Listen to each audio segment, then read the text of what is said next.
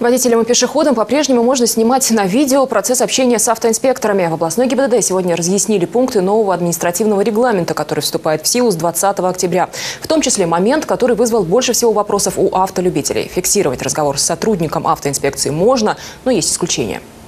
Есть ограничения, которые определены федеральным законодательством, в том числе, когда запись может повлиять помешать э, оперативно-розыскным мероприятиям э, при проведении каких-то контртеррористических операций и так далее, и так далее, которые определены отдельными законодательными актами. В остальных случаях это все допускается и приветствуется.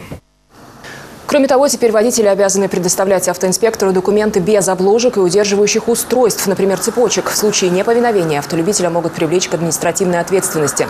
Сотрудникам ГИБДД разрешено останавливать транспортные средства вне стационарных постов, при этом они обязаны представиться и объяснить причину остановки.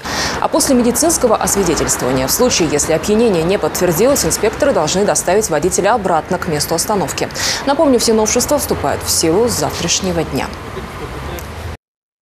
Спасибо за то, что смотрите «Новосибирские новости». Если вы хотите оперативно получать информацию, подписывайтесь на наш канал. Ссылка внизу.